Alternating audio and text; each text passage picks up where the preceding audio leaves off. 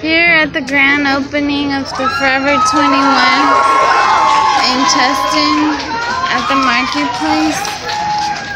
Um, they're gonna give the first hundred customers a free gift card for the store.